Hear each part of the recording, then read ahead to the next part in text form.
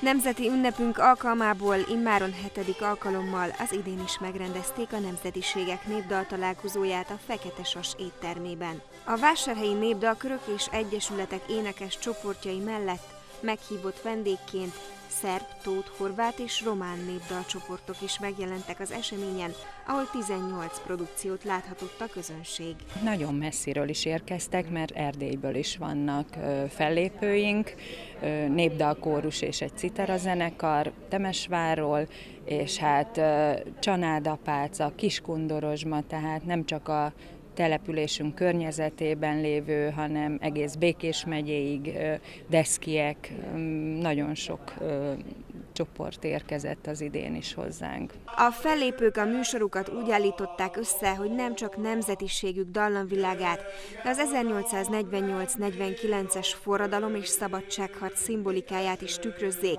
köztük a 40 éves Deszki népdalkör is. Természetesen mi is gondoltunk az ünnepre, pártfalvai katonadótákat énekelünk, e, ő, ezeket a férfiak adják elő, de utána egy más hangulatú, lakodalmas, galgamenti lakodalmas népdalcsokrot adunk elő.